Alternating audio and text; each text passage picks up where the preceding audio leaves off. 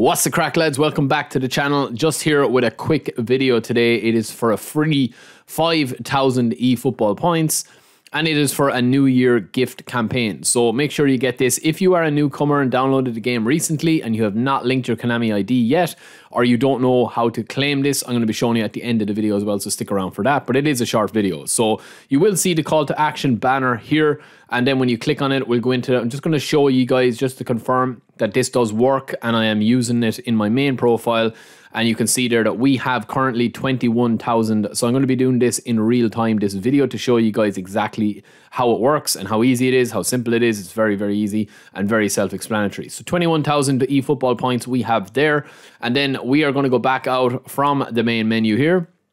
And it's man it's just so clunky. They need to tighten it up a bit.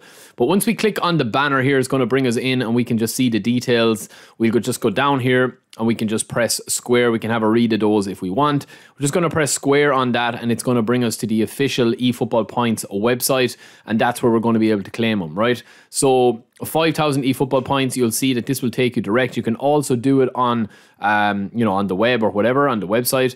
Uh, but once we click on that, it's going to ask you to log in with your Konami ID. So um, that is what you would have signed up with. And once you click on that and you log in, you will get your 5,000 points received. So it's very, very simple. Your Konami ID is either the Konami username that you chose when you signed up uh, for your uh, account with Konami, and I'm going to show you here now in a second, just to confirm that we did get to 5,000. So it's gone from 21,000 to 26,000. Few people saying that it isn't working for them. I don't know why, but yeah, it definitely works. 26,000 there, as you can see, and that means that you can buy Demichelis, you can buy one of the legends if you haven't already. So for those wondering about the Konami ID, um, you would have set this up, or else you will set it up and link it when you were signing up for your Konami uh, profile, your Konami account, right? So you can see it there in, under support, and that is how you link it. If you haven't done that yet, you just click on that and follow the the steps, and it's very easy to do it.